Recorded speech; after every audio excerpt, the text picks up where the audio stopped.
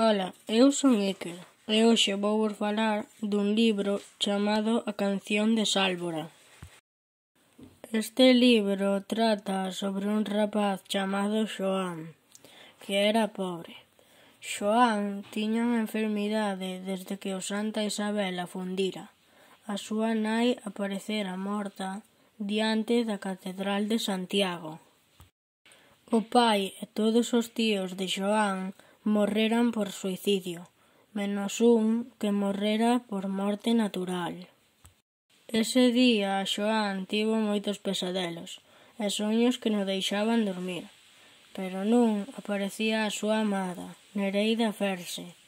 Ao seguinte día, Xoán foi ao concello para mirar se a súa amada estaba viva.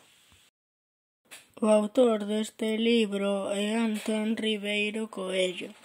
Antón Ribeiro Coello naceu o 28 de agosto de 1964.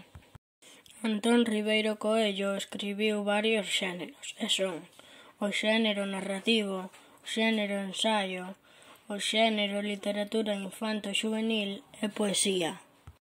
Antón Ribeiro Coello recibiu varios premios, e algún deles son Premio García Barros en 1997 por a historia de Chicho Antela.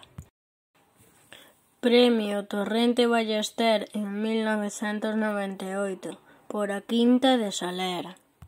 Premio Álvaro Conqueiro de Narrativa en 1999 por homónima.